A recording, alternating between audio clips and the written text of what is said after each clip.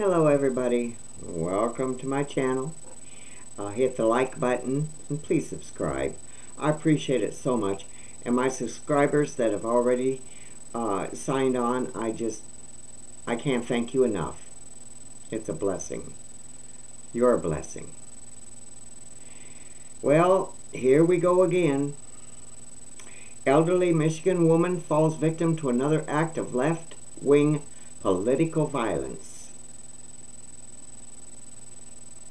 On September 20th, an elderly woman was shot in the upper back while handing out pro-life pamphlets in the Ionia, I-O-N-I-A, Ionia County, Michigan neighborhood.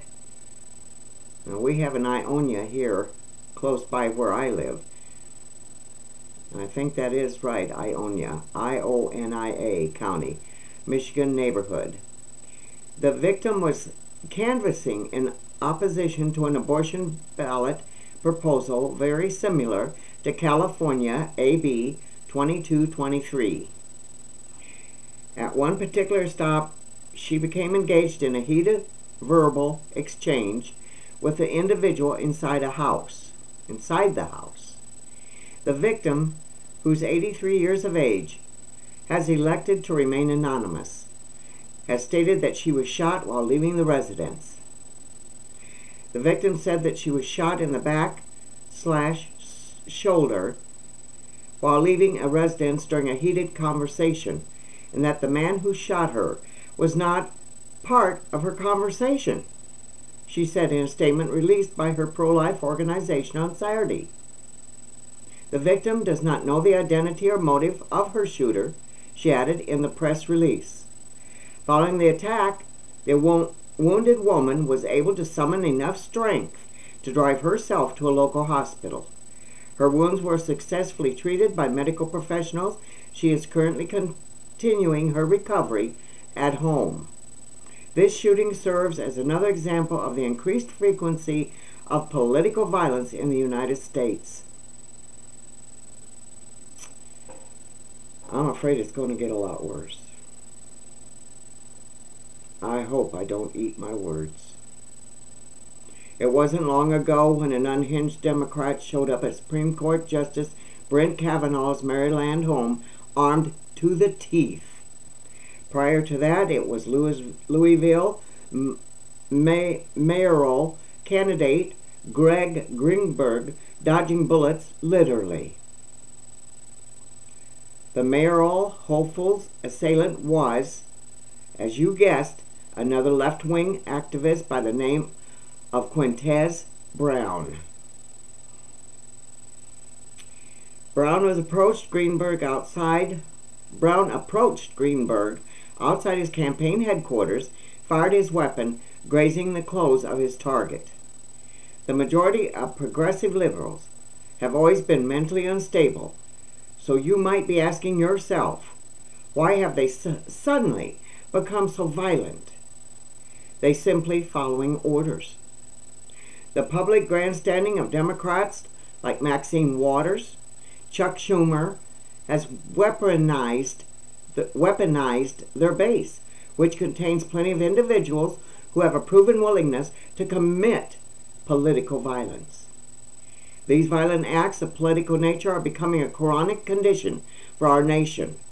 Our prognosis will remain the same as long as irresponsible politicians continue using their platform to install hatred and promote aggression to their constituents. My, oh my, oh my. Now, before I go on to another um, article that I have uploaded here uh, from another YouTuber's channel, I just uh, read a little bit of it, listened to a little bit of it, and they now saying prisoners are down and out. They need a stimulus check. Here we sit. A lot of us without even a home over their heads, cars to even sleep in. No food for the children.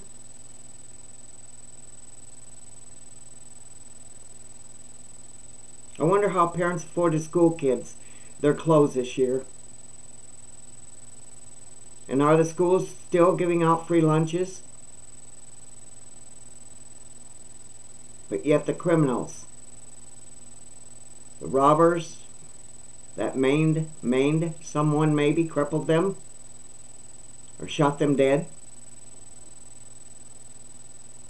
child molesters, adult rapists that rapes adults, beats them to a pulp, some in the end kill them, but they need a stimulus check because they're down and out. I can't tell you how mad that just hit me. I mean, I was absolutely just furious. And here we sit needing help to pay our bills. I took a break. I had to take a break.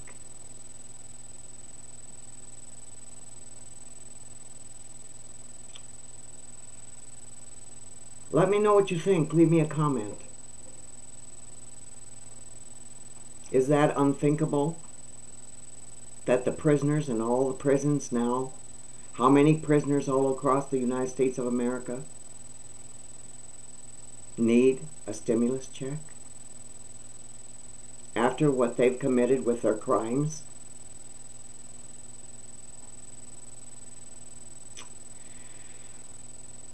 Next article.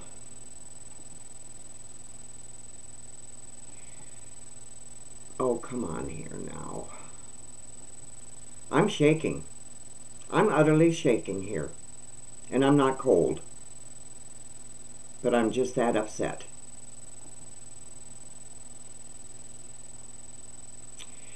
Big time Social Security rise with this new bill.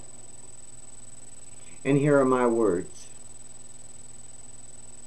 If we are lucky enough to get a raise, on Social Security or even SSI, disability, retirement, retirees on retirement, who's going to have their hands right there to grab most of it?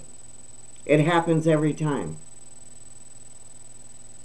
Social Security recipients could be getting an additional 2400 a year and benefits if a new bill recently introduced to Congress wins approval. The substantial bonus would be something seniors would no doubt welcome as surging inflation wipes out their annual cost of living increases.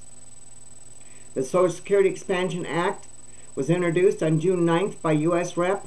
Peter DeFazo, DeFazo, Democrat, Oregon, and U.S. Senator Bernie Sanders, Vermont, under the terms of the bill, anyone who is a current Social Security recipient or who will turn 62 in 2023 would receive an extra 200 in each monthly check. The bill is timely for a couple of reasons. First, it follows a disturbing Social Security Administration announcement earlier this month that Americans will stop receiving their full Social Security benefits in about 13 years without actions to bluster the program. Is that bluster or bloster? Boaster.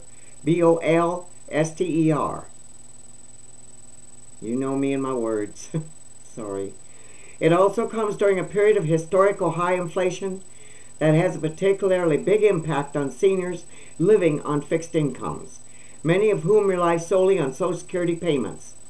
This year's Social Security cost of living adjustments COLA of 5.9% is based on inflation figures from 2021. But since then, inflation has pushed well above 8%, meaning Social Security recipients today are actually losing money. You know what? I got to say a piece here. People on disability, to me, has always been put down. A working man and woman that reaches retirement age and can retire, paid into Social Security all the time that they worked their jobs till retirement. How much do they get a month? Well, see what happens? We think, and I did when I was younger, that when I worked and I paid in Social Security, state, federal tax, it all went into my pot. No. No. It goes in a great big pot for everybody. So anybody can get their hands in what you worked so hard for. All them years till retirement.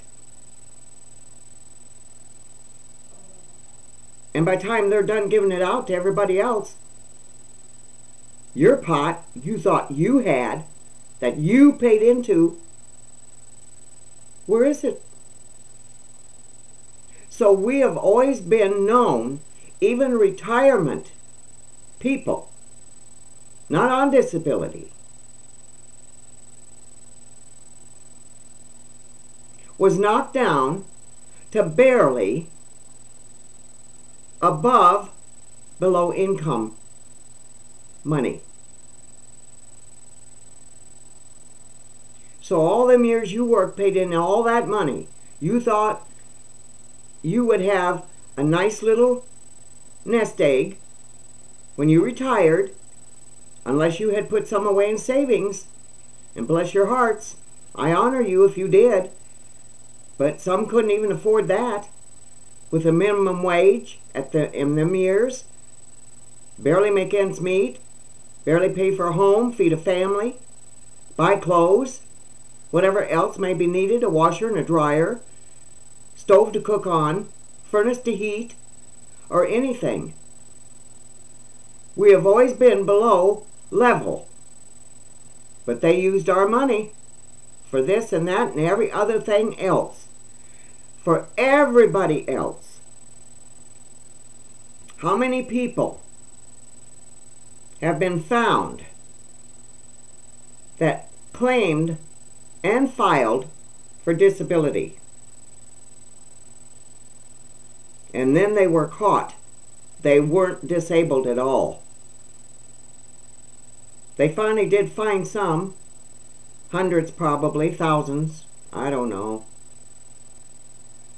But they couldn't send people to every block in every town to watch the ones that applied for disability to come out of their homes, see if they were capable of working.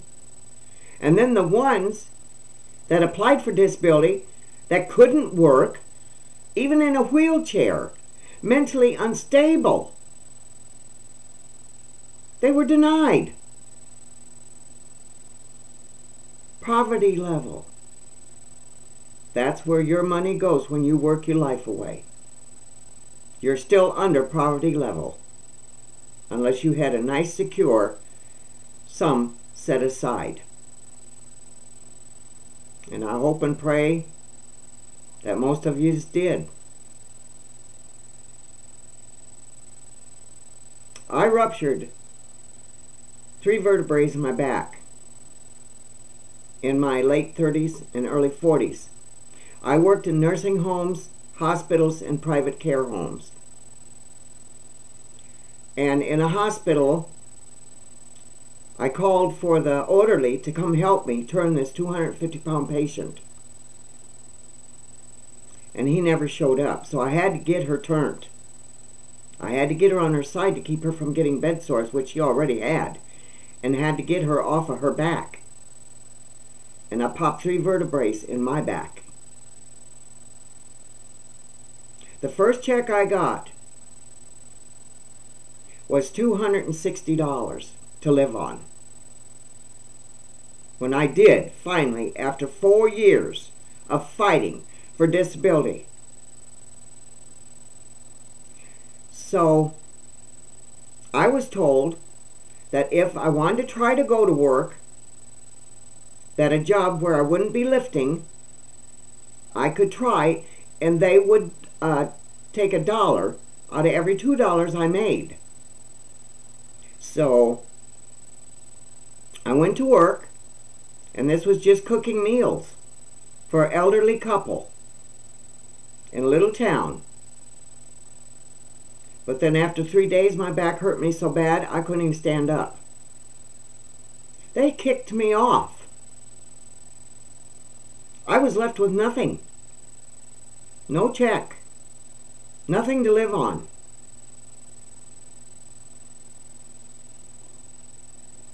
So I went back. Took me another two years. I think almost three. And I had to move in with my sister. And they took care of me. And I had to fight for two, let's just say two to three years. I can't remember, it's been so many years back. Uh, but I finally got back on my disability. But that by that time, the arthritis had set into the things in my back, and then I became totally, completely disabled.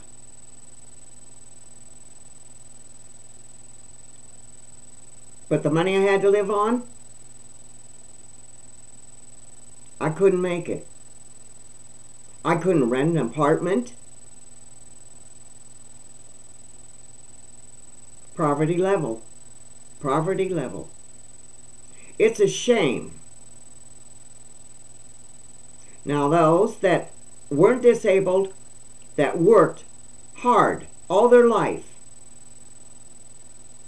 every day, except maybe one day on the weekend, maybe two if they were lucky, they got off to spend time with their family and help raise their children, which they did without, working eight, ten hours a day,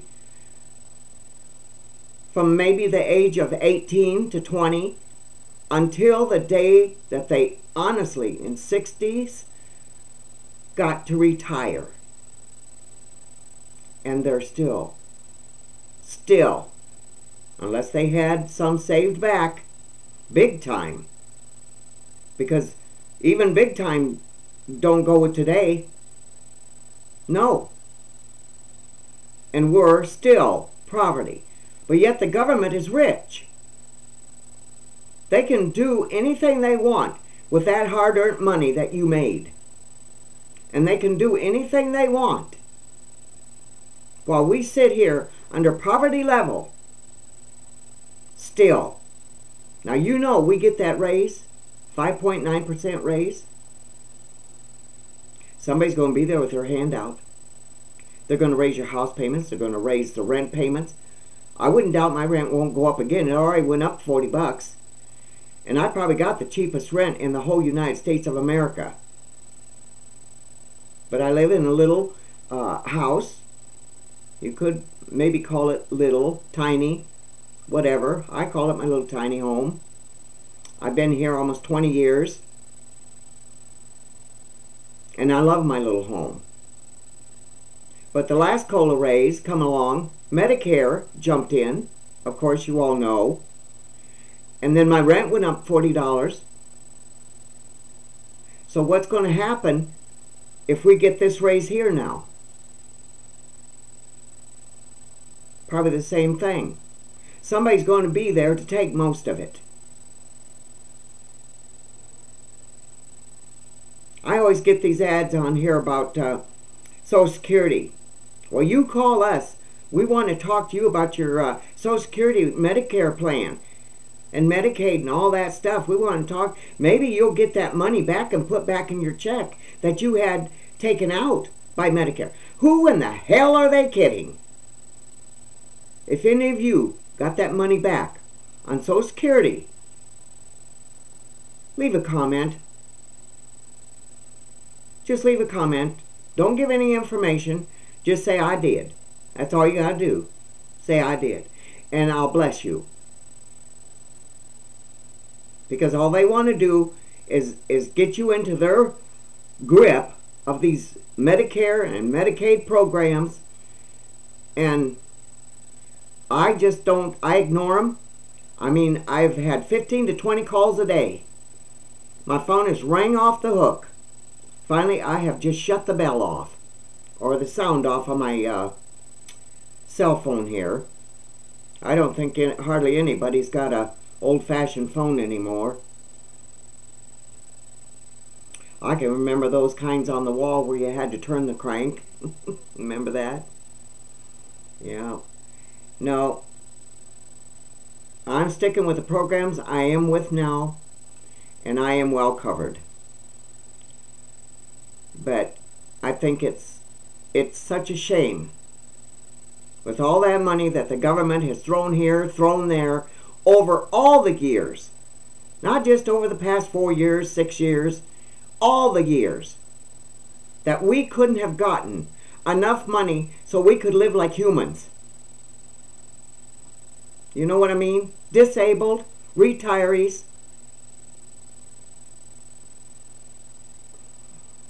I don't know. But now they're saying prisoners, they're down and out. They need a stimulus check.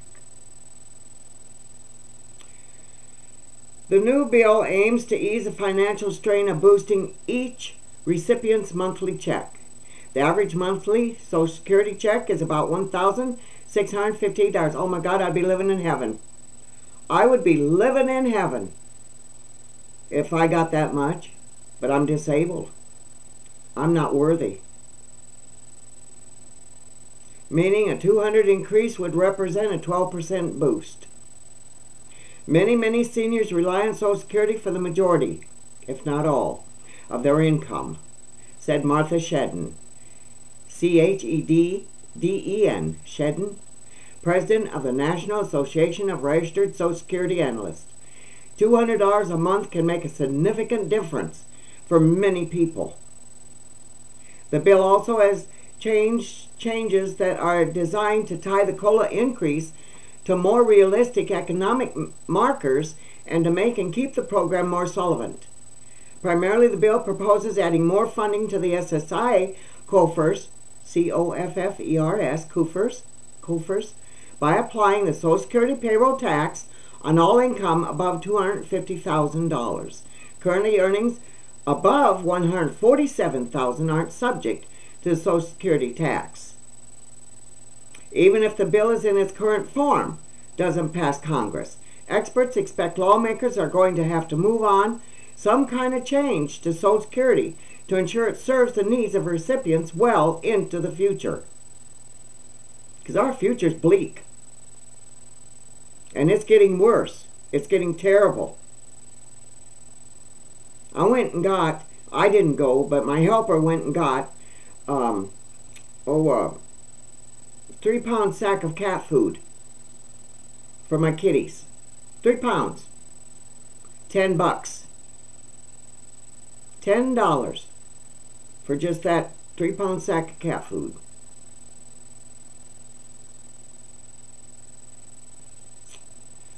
Let alone the groceries.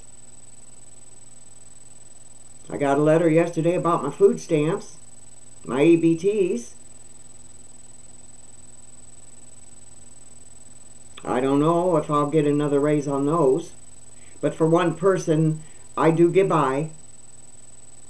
So I'm not I'm not going to complain.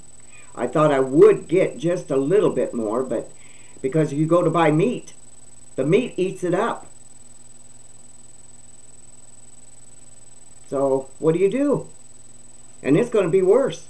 They're saying now, with all this mechanical stuff and all of these Walmarts and Kmarts and Targets, grocery stores, are all going on mechanical stuff. You do your own checkouts. Yeah, self-serve checkouts. Where's that put the workers? The ones that need a job. The machines are taking over human people that need jobs. But Biden says, oh my God, there's jobs all over the place. Millions of jobs all over. The more you get on the internet, the more you read these articles and stuff. When did they start using the machinery, putting in, uh, making cars? a lot of the mobile factories that make automobiles now, which they probably are not making so many, being that we've got to go, they've got to go to electric. Just buy buy a scooter, just like they do over there in, in Japan. Just buy a scooter. I have one. I don't use it anymore because uh, I got scared uh, of the loose dogs. And in my town, they're very, very strict about that. You must have your dog on a leash. You must have your dog on a chain. You must have a fenced-in yard. But sometimes them little babies will pop right out of that fence. A bigger dog can jump that fence if it's five foot, four foot, five foot. Yeah. And I got scared because I thought if I ever get attacked by a dog, who's going to be there to help me? So I got scared, so mine sits in the garage, and it's I'm going to sell it. Yeah, I'm going to sell it. There's no sense in me keeping it. I've had it uh, probably two years now, three years. I used it one summer. And it's a good little scooter. It's by Pride. And uh, it's called Pride. And uh, believe it or not, I could carry home a hundred dollars worth of groceries from the dollar store. Yeah, I could. I love it, but I won't use it. Not anymore because it's not safe. You get these open scooters for elderly people, they're not safe. They've got to have some sort of security hood put on them. But oh well, that's another another story. All right, let's go on, see what else I've got here.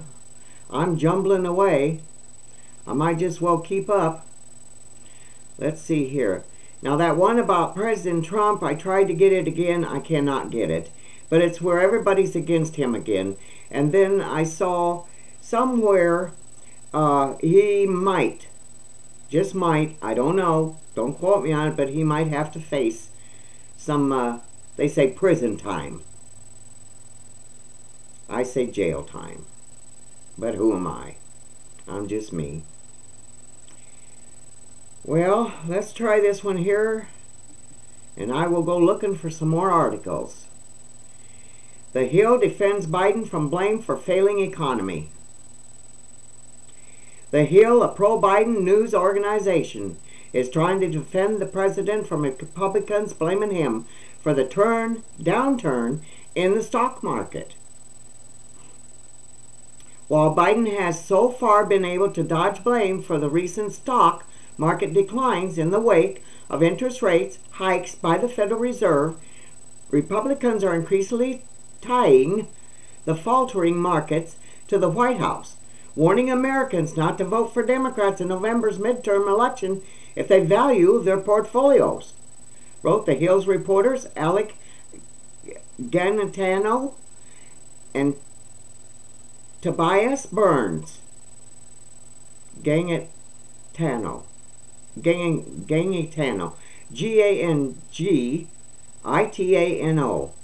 Gangitano and Tobias Burns. The article pointed to comments made by majority, minority leader Mitch McConnell, representative of Kentucky, on Wednesday. The stock market has plummeted below where it was when President Biden took office, cutting the value of America's retirement savings just as the cost of living has soared. McConnell said on the Senate floor. Consumer prices are through the roof. Supply chains chaos left and right. The worst single year for both groceries, electricity inflation since back in when Jimmy Carter, in the Jimmy Carter area. Yeah, the worst single year for both grocery, electricity inflation, inflation since back in the Jimmy Carter era. The Hill also cited comments by Senator Mike Rounds, representative of South Dakota. This is a policy-induced bear market, stated Rounds on Wednesday. It's a policy-induced recession that we're moving into. It's a policy-induced time for significant inflation, he added. Critics on the Hill article highlight that the market actually has declined under the Biden administration, with estimates showing that Americans lost roughly 9 trillion on the stock market by the end of the second quarter this year. Larry Summers, in economics, who worked under former President Barack Obama, predicted that Biden's COVID 19 stimulus would have a detrimental effect on the stock market, saying it would set off infl- inflammationary measures of a kind we have not seen in a generation. Critics also point out that this is not the first time the Hill has done this.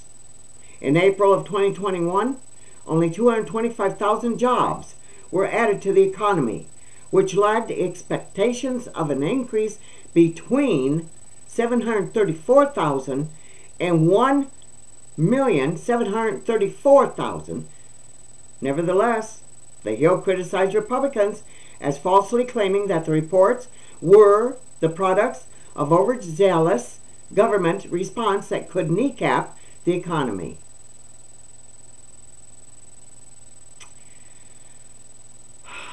My, oh my, oh my. Well, folks, that is going to be that for this video.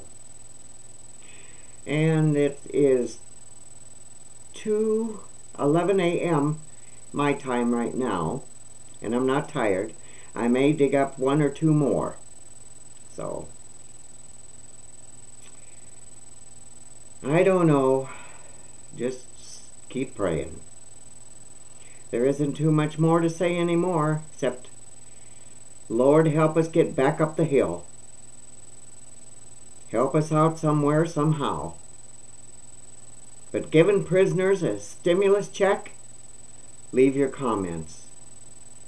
I'll be back. Let me find my little mark here. There we go. Love yous.